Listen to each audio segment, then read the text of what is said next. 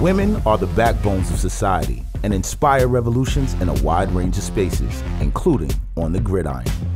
During Women's History Month, we salute a queen who made history in the world of sports, becoming the first black woman president of an NFL football team.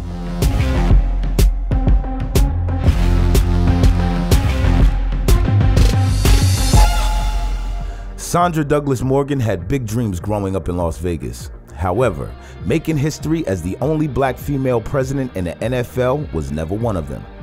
In her new role, the member of Alpha Kappa Alpha sorority is the first black woman to lead an NFL team in the league's history. Born on Whiteman Air Force Base in Missouri, Sandra and her family moved to Las Vegas in the early 1980s, following her father's stationing at Nellis Air Force Base. In the 90s, Sandra studied political science and communications at the University of Nevada. Her sophomore year, Sandra made the decision to take a constitutional law class, and the course changed her life. Her early interest in law led to Sandra applying to the William S. Boyd School of Law at UNLV after graduation. She fell in love with law's complexities and the chance to use law to build a more fair, accessible world. In 2003, Sandra's drive and passion resulted in one of many historical moments in her career. Sandra Douglass became the first black person in Nevada's history to become a litigation attorney for the Mirage Casino Resort. Then in 2019, she shattered another glass ceiling by becoming the first person of color to serve as chair of the Nevada Gaming Control Board.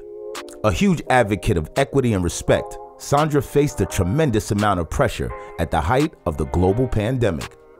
As the chair of the Gaming Control Board, she was responsible for managing the openings and closings of casinos in Las Vegas. There was no blueprint, no one could tell me what to do.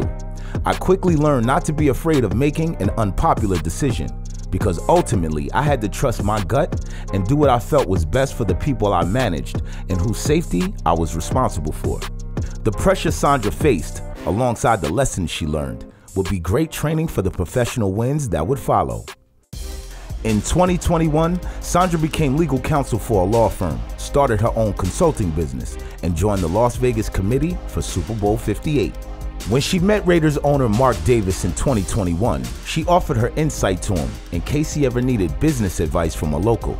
Since the team had just moved to Las Vegas during the 2020 season, Sandra's perspective was valuable. On July 17, 2022, Mark Davis named Sandra the team president. I realized at that moment that this job is much bigger than me. It's giving people hope and visibility and optimism that this is something you could strive for.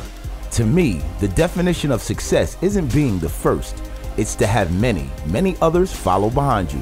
I don't want sports or other male dominated industries to be a trail anymore. I want it to be an eight lane highway open to all. Sandra aims to make the Raiders and the NFL more diverse, starting with the hire of a director of diversity, equity, and inclusion.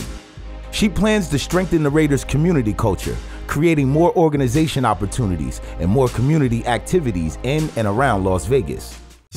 As the first black woman appointed president to an NFL team, Sandra Douglass Morgan is a trailblazer, paving the way for more women in sports.